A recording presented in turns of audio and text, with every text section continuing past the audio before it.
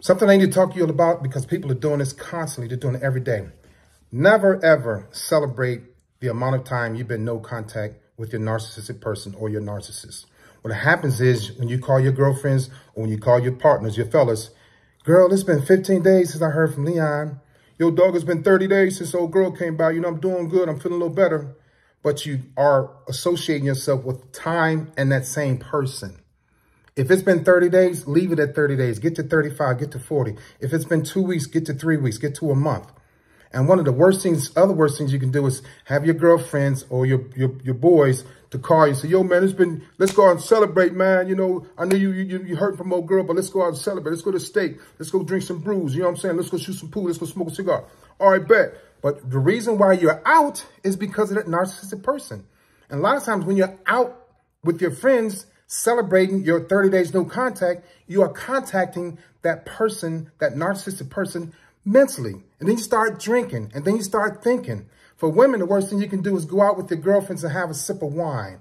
Girl, let's go celebrate. It's, it's been it's been 45 days since you talked to Leon. It's been 45 days since you heard from him. It's been 30 days since y'all last had sex. And then she gets to drinking and now she's thinking. And a lot of times, ladies, the wine goes right to your vagina. And you could be out with your girlfriends and all of a sudden it's like, oh, it's been 30 days and you haven't one sip, two sip, one glass, two glass, three glass. And guess who you're thinking about? It's been 30 days. You got to that 30 day point and you had a sip of wine and you had some liquor and you're thinking about Leon. Stop counting today the days that you've been no contact. Stop doing it. You have to. My friend Lisa Taylor Austin is qualified to diagnose people with NPD. We're doing a video, we're doing a, a YouTube video uh, April 15th. So look for it. Go to her page on YouTube, Lisa Taylor Austin, and follow her because we're going to do, she's going to post a video that we did. We talked about two hours about narcissistic personality disorder. So, and she mentioned also going no contact means you should not even think about that person. I know it's hard. I know you have connections with that person. I know you have chemistry, but stop celebrating those days. Stop going, when you go to your calendar on the refrigerator and you mark that those days off, you're thinking about Leon. You're thinking about Leona. Stop doing that. Narcissistic people, guess what they do? Guess what I used to do? I used to count the days too.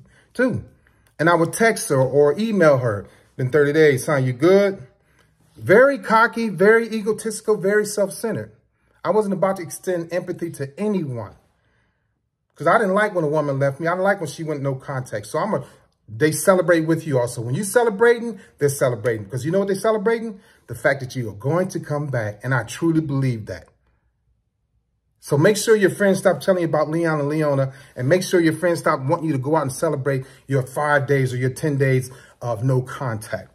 Once you go no contact, that's it. Leave it alone. Don't count the days. Try your hardest not to count the days. Allow your body to keep the score and get that person out of your system. Allow your body to heal. It's not just your mind that has to heal. Your body has to heal. Your heart has to heal. Your soul has to heal. Your close friends that were hurting because of a Leon or Leona, they have to heal too. Your kids that saw you crying, they have to heal too. So do me a favor and stop counting the days and just go no contact and make contact with the people that love you. Y'all have a great day.